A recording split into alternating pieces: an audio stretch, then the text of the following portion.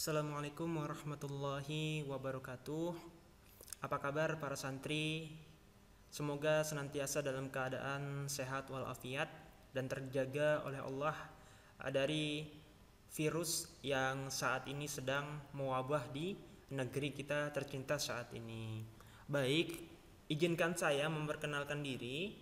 Nama saya Ahmad Rofi'i. Insya Allah di sini akan membersamai para santri dalam mata pelajaran prakarya dan kewirausahaan dalam kelas 10. Nah, pada materi pertama kali ini ya, kita akan membahas pada bab kewirausahaan. Nah, apa itu kewirausahaan? Eh, para santri sekalian mungkin secara garis besar sudah tahu apa itu kewirausahaan. Bahkan eh, mungkin ada yang menjadi seorang pengusaha pada saat ini. Nah, baik dalam eh, asal katanya wirausaha memiliki dua kata ya yang terdiri dari wira dan usaha. Nah, wira berarti adalah seorang pejuang, pahlawan atau seorang manusia unggul, teladan berbudi luhur, gagah berani dan berwatak agung. Nah, sedangkan usaha adalah suatu perbuatan amal baik itu bekerja ataupun berbuat sesuatu. Nah, nah selanjutnya wira kewirausahaan. Dalam kewirausahaan terdapat pelaku. Nah, disebut apa sih seorang pelaku usaha itu? Nah, pelaku usaha biasa dikenal juga dengan uh, sebutan wirausahawan atau seorang pengusaha.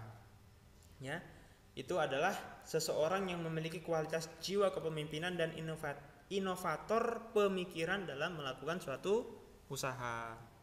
Nah, apakah eh, semua orang itu harus menjadi seorang pengusaha, Pak? Saya bilang tidak, karena kita ya harus punya dan harus berjuang pada masing-masing eh, apa yang sudah kita citakan. Ya.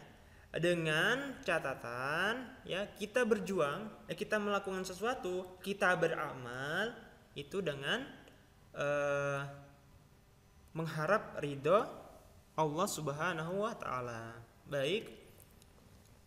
Eh, dalam kewirausahaan ya beberapa karakteristik yang dimiliki oleh seorang pengusaha yakni yang pertama adalah percaya diri Percaya diri ini penting, kenapa? Karena akan menjadi eh, apa? bahan atau menjadi sesuatu hal yang akan eh, menumbuhkan seorang jiwa wirausaha nantinya.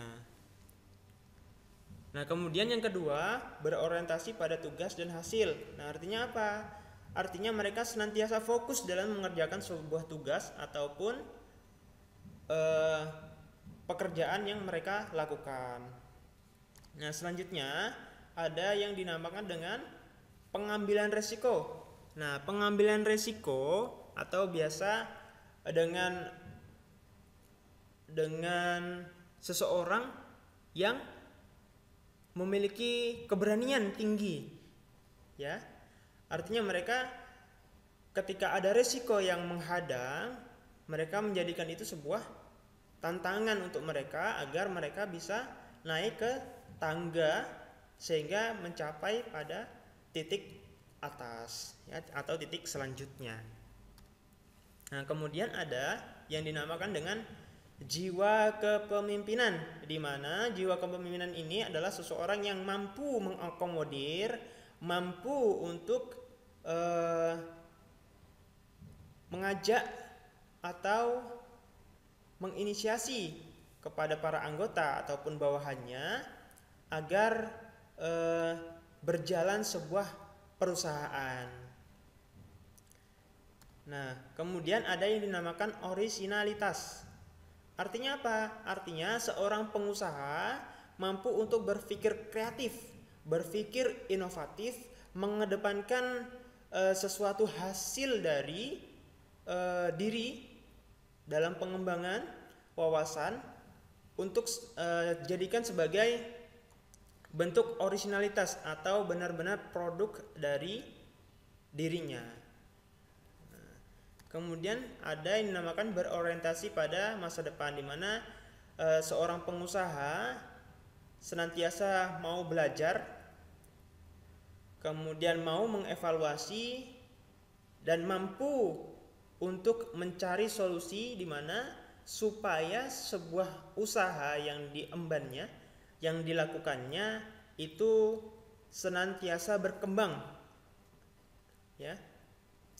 Kemudian selanjutnya ada dalam mengidentifikasi karakter pengusaha, ciri-cirinya seorang pengusaha adalah uh, orang yang memiliki kepercayaan diri, berorientasi pada tugas dan hasil, berani mengambil resiko, berjiwa kepemimpinan, berorientasi pada masa depan dan mengedepankan ke orisinal keorisinalan atau keaslian. Nah, baik. Nah, apa sih e, faktor-faktor yang mendukung berhasil atau tidaknya seorang pengusaha itu?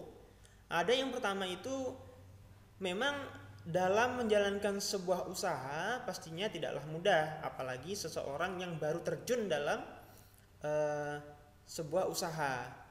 Nah, oleh karena itu gimana?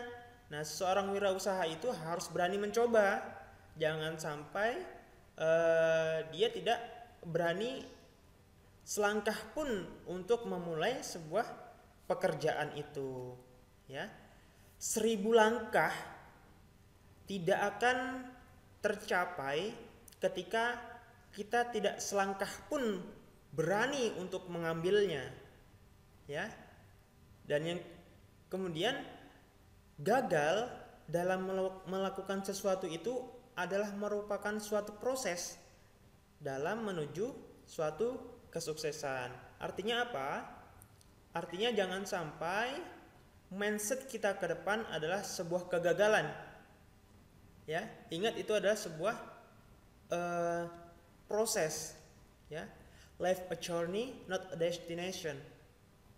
Ya fokus saja pada prosesnya kemudian untuk tujuannya nanti akan uh, diberikan sesuai dengan uh, prosesnya tadi. Ingat bahwa hasil itu tidak akan uh, mengkhianati sebuah usaha jadi ikhtiar dan doa saja. Kemudian yang kedua, ingat bahwa kegagalan itu adalah suatu kesuksesan yang tertunda di mana ketika kita gagal, ketika kita dalam keadaan gagal, ketika tiada seorang pun yang datang pada kita, ya. Jangan sampai menjadikan kita untuk tetap diam di sana, tetap stagnan, atau tidak mampu atau tidak mau bangkit kembali. Nah, ketika kita jatuh, ketika kita gagal 10 kali, maka bangkitlah kalian 11 kali. Atau ketika kita jatuh sebanyak seribu kali, maka bangkitlah seribu satu kali. Siapa tahu dengan satu kali kalian bangkit itu ya kalian akan mencapai sebuah kesuksesan. Ya. Dengan cara ketika gagal kalian harus mampu untuk mengintrospeksi diri kemudian mengevaluasi apa saja yang menjadi asbab sebuah kegagalan kita yang kemudian membuat sebuah formulasi uh, atau solusi bagaimana kegagalan ini dapat dijadikan uh, sebuah nilai atau sebuah kekuatan untuk menuju kesuksesan. Nah, mungkin itu saja pada kesempatan kali ini. Semoga uh, beberapa yang diterangkan tadi mampu membuka wawasan para santri sekalian. Uh, membuat untuk bergairah dalam e, membuat sebuah usaha. Ingat, kita tidak harus menjadi seorang pegawai kita tidak harus menjadi seorang yang uh, berorientasi pada finansial saja, bahwa kita juga mampu untuk menjadi seorang pengusaha yang membuat uh, lapangan pekerjaan dan menjadikan diri kita seorang yang mampu memimpin sebuah usaha. Baik, itu saja. Terima kasih. Assalamualaikum warahmatullahi wabarakatuh.